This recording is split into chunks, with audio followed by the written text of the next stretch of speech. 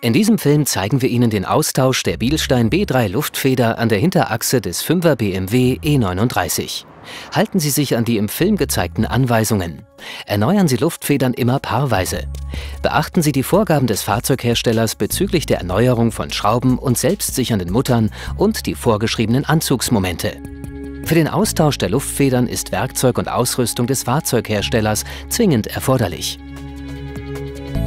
Bei Luftfedern handelt es sich um Links-Rechts-Teile. Überprüfen Sie die Zugehörigkeit vor der Montage. Nehmen Sie die Luftfedern aus der Verpackung und kontrollieren Sie diese vor der Montage. Bitte beachten Sie die mitgelieferte Montageanleitung und überprüfen Sie das Mindesthaltbarkeitsdatum. Messen Sie die Länge der Bielstein-Luftfeder und vergleichen Sie diese mit der angegebenen Maximallänge in der Montageanleitung.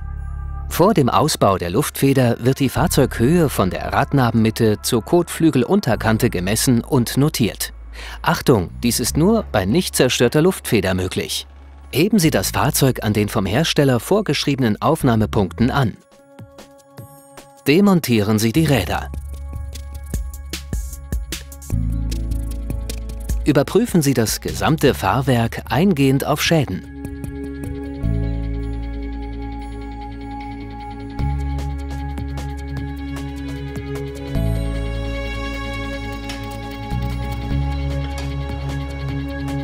Schalten Sie die Zündung aus.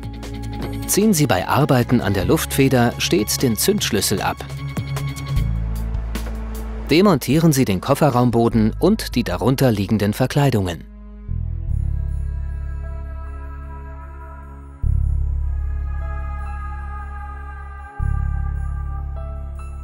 Öffnen Sie die Serviceklappe auf der rechten Seite des Kofferraums und entfernen Sie die Sicherungen der Luftversorgungsanlage.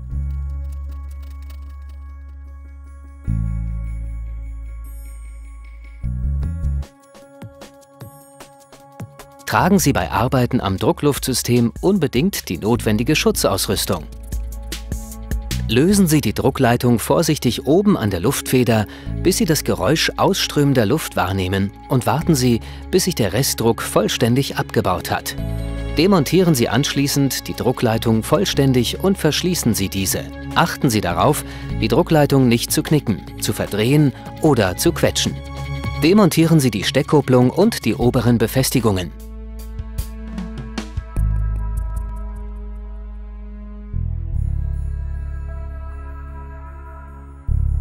Demontieren Sie die Mutter der unteren Befestigungsschraube der Luftfeder am Radträger.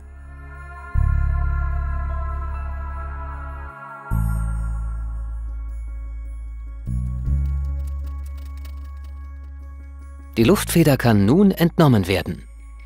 Die Montage der neuen Luftfedern erfolgt in umgekehrter Reihenfolge. Beachten Sie die Vorgaben des Fahrzeugherstellers bezüglich der Erneuerung von Schrauben und selbstsichernden Muttern und die vorgeschriebenen Anzugsmomente. Setzen Sie die neue Luftfeder ein und montieren Sie die oberen Befestigungen. Montieren Sie die Steckkupplung an der Luftfeder. Der Sicherungsring muss hörbar einrasten. Montieren Sie anschließend die Druckleitung an der Steckkupplung. Beachten Sie hierbei das vom Fahrzeughersteller vorgeschriebene Drehmoment. Achten Sie darauf, die Druckleitung nicht zu knicken, zu verdrehen oder zu quetschen.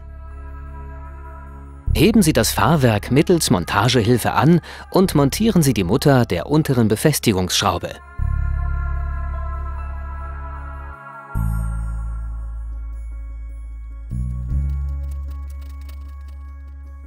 Beachten Sie die vorgegebenen Drehmomente des Fahrzeugherstellers.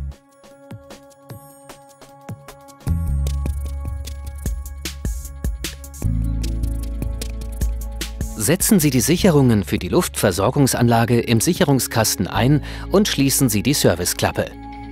Schließen Sie das Diagnosegerät an und stellen Sie die Verbindung her. Befüllen Sie die Luftfeder nach den Vorgaben des Fahrzeugherstellers. Achtung! Lassen Sie das Fahrzeug niemals mit druckloser Luftfederung vollständig von der Hebeeinrichtung ab.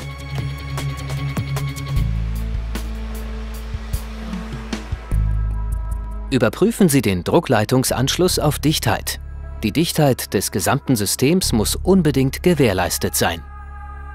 Montieren Sie die Verkleidungen und den Boden im Kofferraum.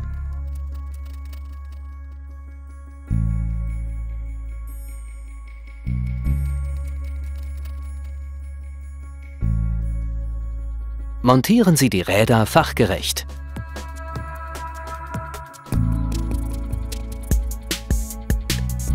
Lassen Sie das Fahrzeug bis zum ersten Bodenkontakt der Räder mit der Hebeeinrichtung ab und starten Sie den Motor. Lassen Sie den Motor mindestens zwei Minuten laufen und senken Sie das Fahrzeug anschließend bei laufendem Motor auf das zuvor ermittelte Maß bzw. auf Serienhöhenstand ab.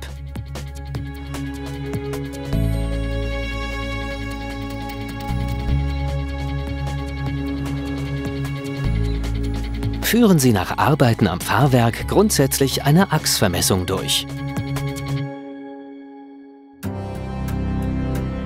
Bielstein. Drive the Legend.